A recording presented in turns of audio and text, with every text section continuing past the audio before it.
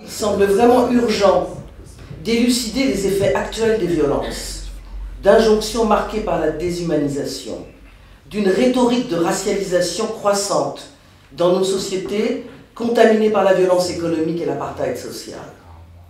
Grâce au travail de Cornel West, restitué et éclairé par notre ami Lamine Sanya, nous pouvons réfléchir ensemble et commencer à comprendre en s'attachant à une parfaite intégrité de nos démarches devant la violence raciste, la marchandisation, la division des sociétés, la désintégration des personnes par le pouvoir, par l'argent, par la domination.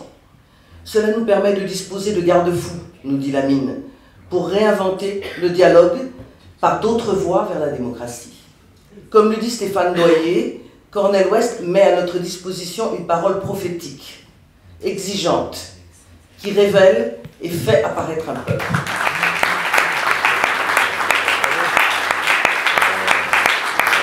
Merci beaucoup, merci Florence pour cette présentation.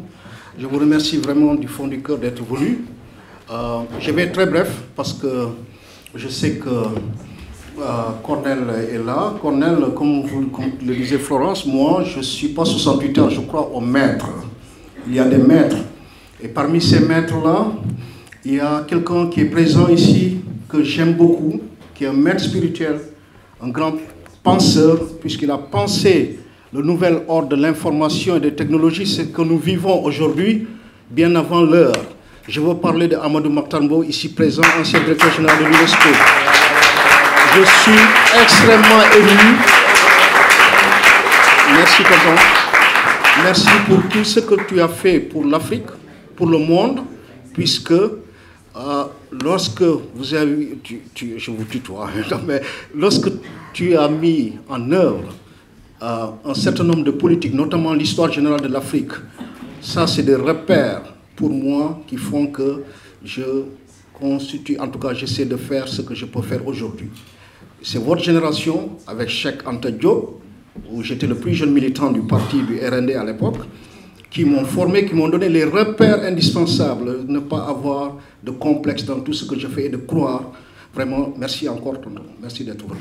Ah, depuis dix ans qu'on est ensemble, enfin qu'on a, qu'on a enseigné en plus, je n'ai jamais vu.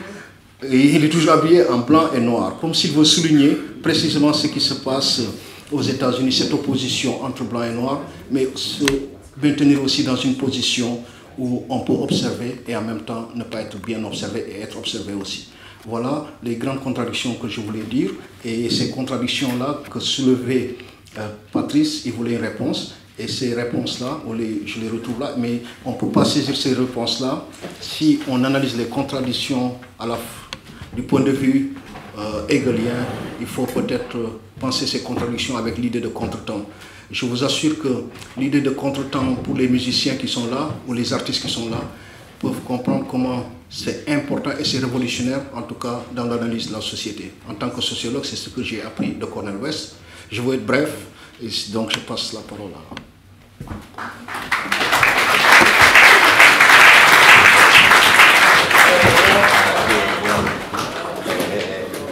Honored and privileged to be here. I'd like to begin by saluting my very dear brother.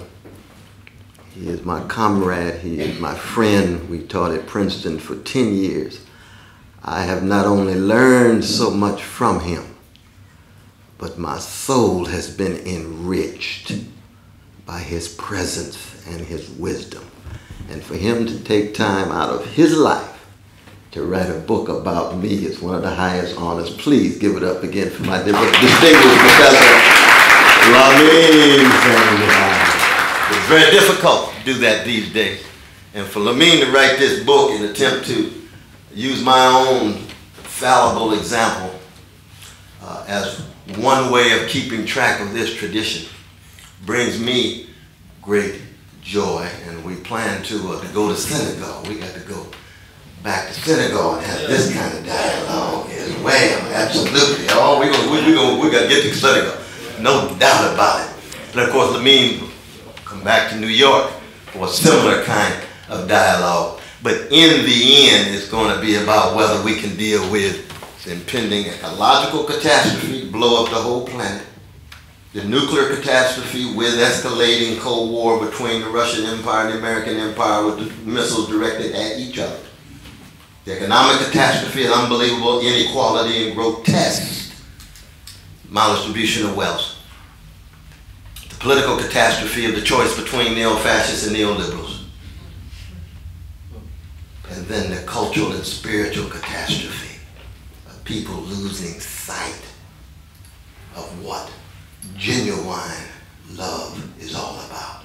Steadfast commitment to the welfare of others outside of one's own ego.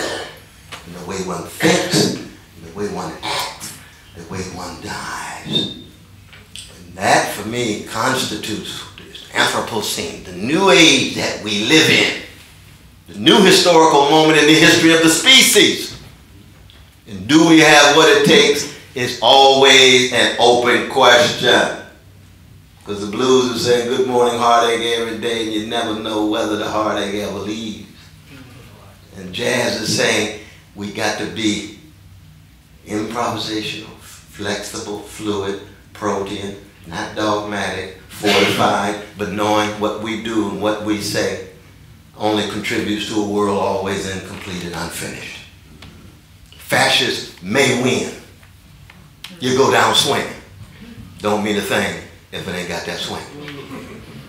Fascists may be pushed back. Some of us will go down swinging for that, but there's no guarantee that we win.